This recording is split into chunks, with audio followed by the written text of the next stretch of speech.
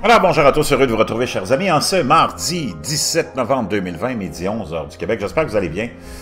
On va aller faire un tour dans la haute finance, dans les sphères de la haute finance, pour apprendre que, imaginez-vous, Elon Musk s'envole de 12 milliards de dollars, de 12 milliards de dollars grâce à l'indice Tesla.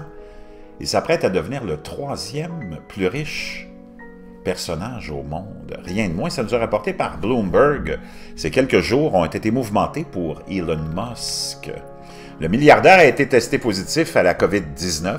Sa société de fusée a lancé quatre astronautes dans l'espace euh, dimanche soir et lundi, son constructeur de voitures électriques Tesla Inc. a été nommé par inclusion dans l'indice SP500. Les dernières nouvelles ont ajouté l'équivalent du carburant de fusée à sa fortune. Musk, 49 ans, est sur le point de devenir la troisième personne la plus riche du monde, devançant Mark Zuckerberg après que sa valeur nette a grimpé en flèche dans le commerce prolongé.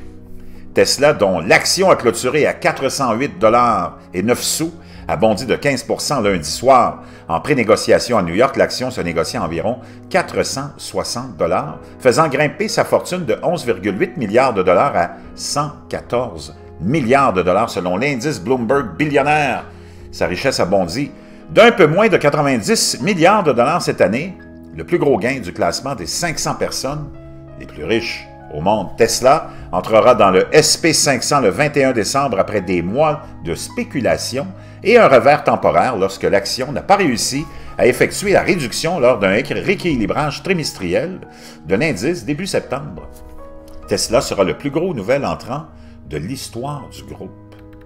Samedi, Musk a tweeté qu'il avait très probablement un cas modéré de COVID-19 et avait des symptômes d'un petit rhume.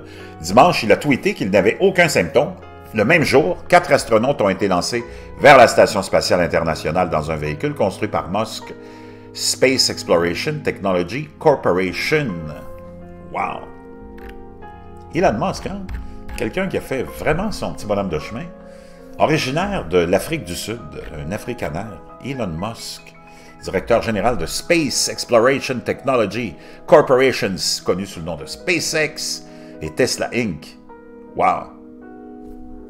Faut le faire pareil. Chapeau à Elon Musk.